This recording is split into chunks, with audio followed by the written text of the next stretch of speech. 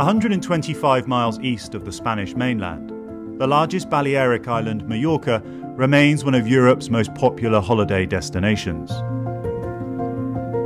Millions of tourists visit each year to sun themselves in one of the resorts, found mostly on the island's 340 mile coastline. Beyond the beach, however, Mallorca is said to have six distinct landscapes, including the undulating peaks of the Serra de Tramuntana and Es Plà, the flat and bucolic plains at its centre. And it's this geographical variety, packed within an island just 60 miles wide, which has made this balmy corner of Europe such a big hit with tourists on two wheels. Since the late 1990s, Mallorca's been welcoming cyclists from all over the world.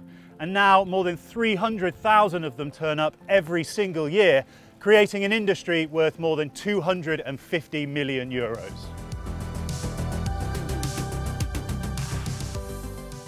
Unlike the relatively short summer holiday season between July and September, Mallorca's promotion of cycling tourism has helped spawn a 365 day a year economy. Because cyclists are on the hunt for the road less travelled, they gravitate towards the small villages rather than the busy towns. And in doing so, they help spread money around the entire island rather than in just a few tourist centres. I'm not sure if it gets much more Mallorcan than this, surrounded by olive and almond trees and all done under 300 days of sunshine every single year. It's no surprise that Mallorca has come to be known as the cycling capital of Europe. With its quiet roads and friendly motorists, Mallorca has become the unofficial headquarters for dozens of cycling teams and professionals who base themselves here during the off-season. I think, I think Mallorca is one of the best places for cycling in the world. I think Mallorca for the landscape is perfect because we have mountains, we have the beach, we have flat, summer all day. All the winter is like a summer. Over the course of his 13 year career, Mallorcan born Joan Horrach competed in 16 Grand Tours. You were a professional, you're not anymore, but what gets you up every single morning and going out on your bicycle? Happiness, freedom, uh, I don't know. I, I, think it's for a lot of people. They give, it's like a therapy. If I can cycling every day, I cycling every day because this make me happy. This give me like a freedom. You can have time for you in your head because when you are on the bike, you forget a little bit the problem. These days, Joan shares his time between guiding cyclists around the island and his next big challenge as a winemaker. He and his partners have set themselves the ambitious goal of producing the best wine in the world by 2027.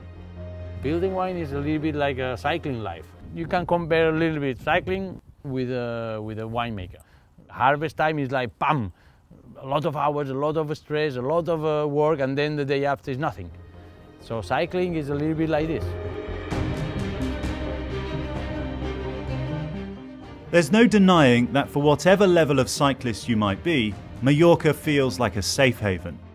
Be it as a professional training for the Tour de France, or as a holidaymaker riding 10 or 20 miles a day. There is a reverence for bikers and their bikes that you seldom find anywhere else in the world. And perhaps it's because this source of sustainable, green, and healthy tourism taps right into the very heart of Mallorca's enduring spirit. Here, the Mallorquin people really understands the importance of the cycling on the island.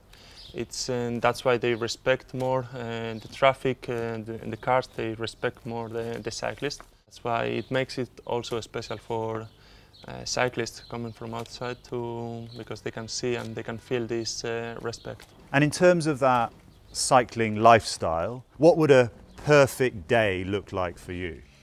I wake up, I have some coffee, some breakfast, then I go riding with friends. We do three, four hours.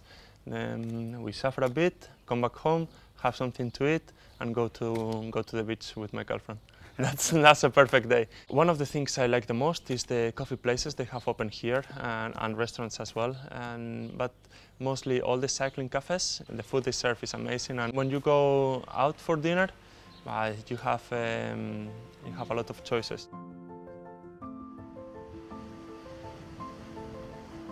I think what I love about cycling around an island is doing a circumnavigation of a place rather than just going from A to B. And the special thing about Mallorca is just the range of different landscapes. One minute you're going through a quaint little village, the next you're cycling through the countryside. You could be at the top of a mountain after a couple of hours. It's taken me about half a day to reach the north of the island, but here I am now, surrounded by ocean.